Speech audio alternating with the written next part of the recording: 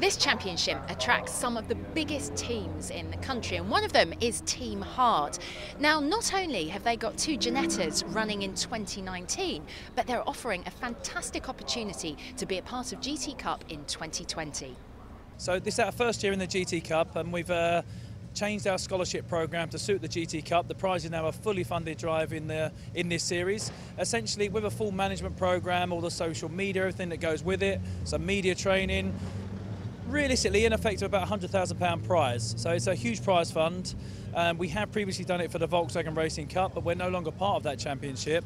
We decided to move on commercially. So the GT Cup is something that we are now part of.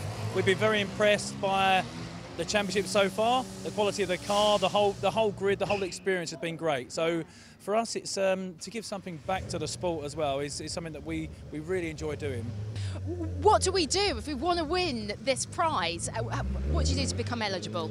So eligible is novices can race. You don't actually need a racing license because if you're if you're good enough, we will help you with that experience. So it is open to people that do have a race license as well, but limited experience only. So it's a level playing field. It's basically £499 to enter. It's a GKR Better Future Scholarship program, which they're big supporters of, and it's a um, bit of fitness, not not crazy fitness because we can work on that.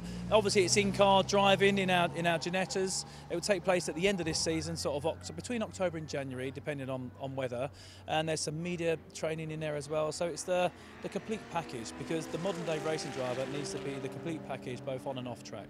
So it's got to appeal to our sponsors, our partners and really fit in because it's a long term opportunity. We don't want somebody that's going to come in, do a year's racing, then that's it. And we need something to complete continue the journey. We've actually got 11 scholars currently racing for us.